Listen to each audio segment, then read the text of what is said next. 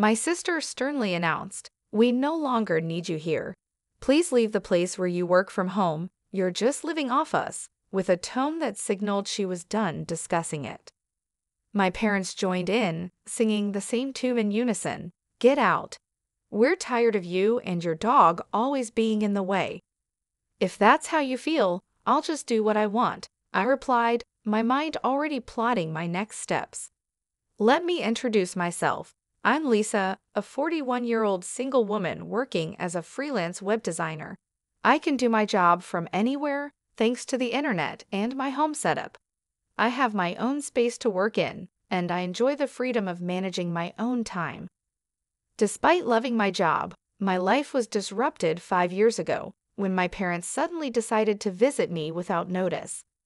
As soon as they walked into my house, they began to look around and soon started a conversation that hinted at major changes ahead. This house is quite spacious, Lisa, my mother observed, looking around. It almost seems like we could live here too. And there's even a spare room, my father added. It seems a waste for Lisa to live in such a big house all by herself. Without asking me, my parents had made up their minds in their typical manner. They seemed to think moving in with me was settled without even considering what I might want. I had never planned to live with them, and I made my position very clear. Hold on a moment, I have no desire to live with you, I said, puzzled by their assumption. What are you even suggesting? My father's face flushed red with anger as he sharply retorted, You've taken over this house, claiming it was from your Uncle Michael, and you're trying to claim it as your own. There's a limit to how low you can go. I tried to set the record straight. I didn't take it over. I had a proper discussion with Uncle Michael, and he willingly transferred it to me, I explained. Despite my protests, my parents had already decided to move in. They insisted, our old house is falling apart, and it's no longer suitable for us to live there. Given that my mother didn't work and my father's income wasn't enough to cover major repairs, they saw no other option but to move into the house I had inherited from my Uncle Michael. Faced with their difficult situation, I couldn't just leave them homeless, so I reluctantly agreed to let them move in. Once they settled in, however, they didn't hesitate to make sarcastic remarks. Hey Lisa, you're already in your 40s, aren't you? Don't you have any plans of getting married? They would taunt, always pointing out my single status. I find great satisfaction in my work and am truly content with my life. Yet the people around me often express concerns about my relationship prospects. They suggest that I should follow in my sister's footsteps, who has taken a different path in life. Contrary to their expectations, my sister's married life has faced its own challenges. Nevertheless, I remain unfazed, reassuring them that I'm perfectly fine with how things are. It was during one such discussion that my mother, who had been eavesdropping, decided to butt in. Hey, don't speak ill of your sister like that. Unlike you, she's married and even has a stable job at a company, she interrupted. Defending my own choices, I replied, I might not be married, but I am doing a respectable job too. My mother wasn't convinced and continued her criticisms. You're always just messing around on your computer. You're probably making money through some shady means, aren't you? she accused. Despite their doubts and criticism, I continued to live my life according to my own terms, valuing my independence and the career I've built. I quickly responded, Shady, I'm earning my living honestly through legitimate work. There's no need to worry. My mother was not pleased with my reply and scolded me sharply. How dare you talk back to your mother? You really are the complete opposite of your sister. This constant comparison of me to my sister by our parents was something I had become used to. While my sister worked a temporary office job, I had chosen a different path that allowed me to work from home. Although I knew our parents' generation might not fully understand the concept of remote work, it still hurt to be consistently belittled. However, one day while I was preparing dinner, instead of my perpetually idle parents, the doorbell rang unexpectedly. To my surprise, it was my sister Carol, burdened with a massive amount of luggage. Hub, Carol, what's going on? It's been a while, I greeted her, taken aback by her sudden appearance. This is sudden, but I'll be living in this house from today, Carol replied with urgency. Baffled, I blurted out, living here from today? I didn't hear anything about this. Carol explained, Didn't mom and dad tell you? I got divorced, so I'll be counting on you from today. Despite my initial shock, I tried to maintain a welcoming demeanor. Ignoring my startled reaction, Carol trudged upstairs and promptly claimed an empty room as her own. My parents sided with her, and I found myself powerless to object. From that moment on, my stress levels began to rise. Carol, after her divorce, had quit her job and spent her days speaking ill of me with our mother. Hey, Mom, isn't this dress cute? Carol would ask, showing off her latest shopping find. Oh, yes, indeed, Carol. You're so pretty, it will definitely suit you, our mother would respond enthusiastically. Then Carol would turn to me and remark, Do you think so too? It's totally not something Lisa would wear, right? Unable to escape their critical gaze, I continued to live my life without reacting to their taunts. Despite the desire to retaliate, I realized that it would only play into their hands. So I remained steadfast and unresponsive to their attempts to provoke me. One fine day, I knew I had to stay strong and keep focusing on my own happiness, regardless of the negativity around me. I found myself in a truly heartwarming situation when one of my closest friends became the proud owner of a litter of four adorable puppies. This significant event sparked a series of changes that would enrich my life tremendously. The moment I saw those precious pups, I felt a deep connection.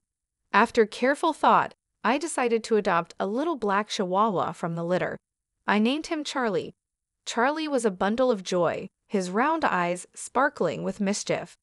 Every time he looked at me, his tail wagged so vigorously it seemed it might just detach in his excitement. I had always dreamed of owning a chihuahua since I was a child, and finally having Charlie by my side brought immense happiness into my life. This was particularly true because I often worked from home and Charlie's companionship provided a much needed relief from the loneliness of my remote work days. From today onwards, you're Charlie, okay? Woof, I declared to him, solidifying our bond.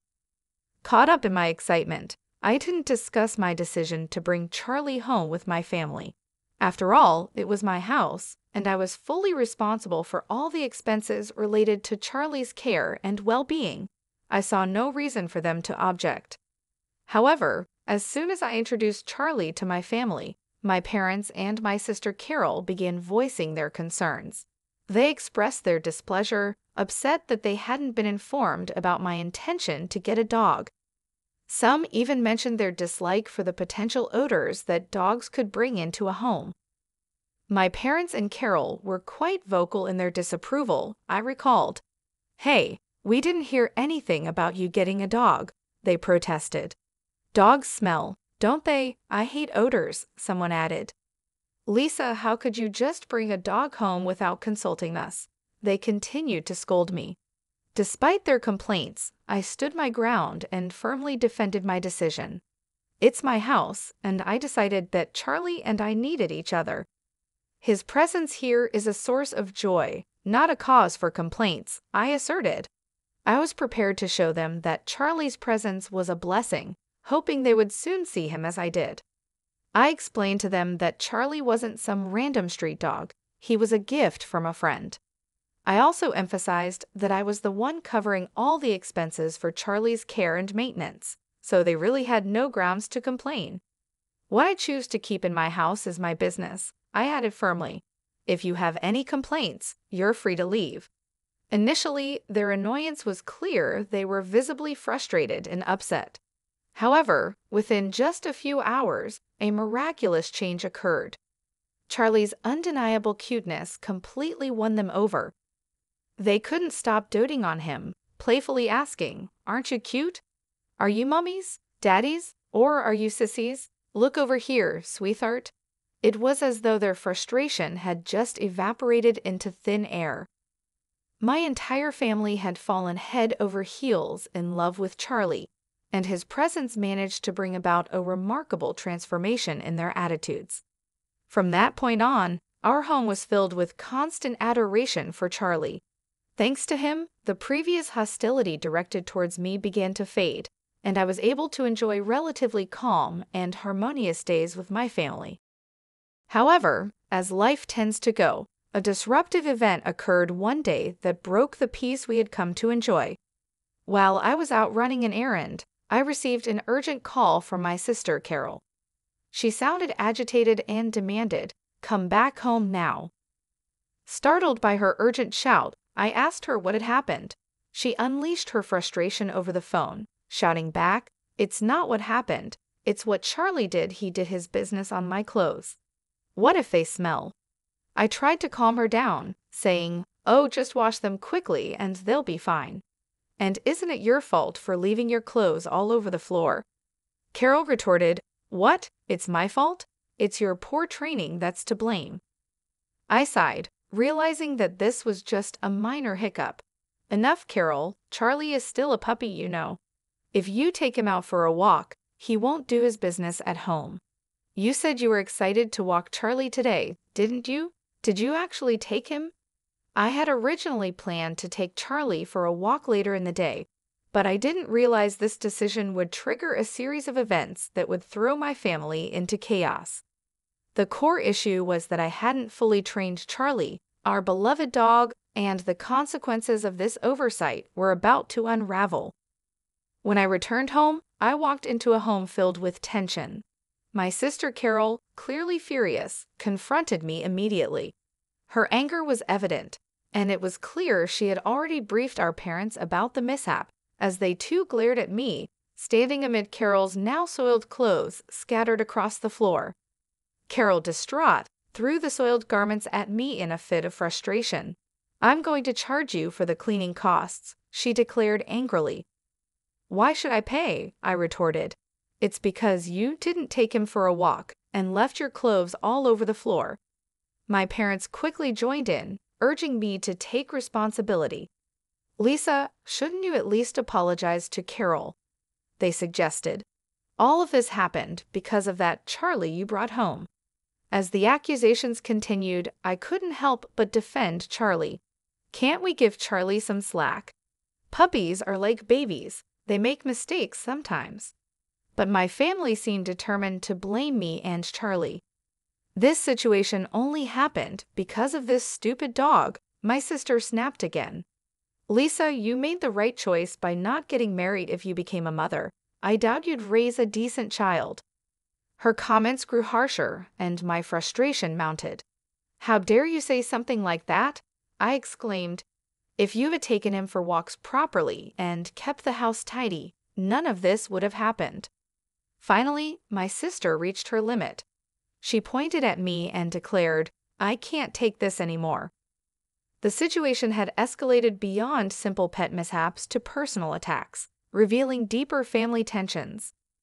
Despite the hostility, I knew it was essential to remain calm and address each issue thoughtfully, prioritizing Charlie's training and our family's need for better communication and understanding. I don't need you or this dumb dog, Get out of this house. The words struck me like a ton of bricks. What? I stammered in disbelief. Didn't you hear me? I said get out. We don't need a home-wrecking freeloader here, my sister continued harshly. Her accusation cut deeply, especially since she knew all too well that I was currently without a job. I was stunned. Who did they think was covering the household expenses? It was me. As I stood there, Bewildered by my sister's outrageous claims, even my parents joined in, supporting her view.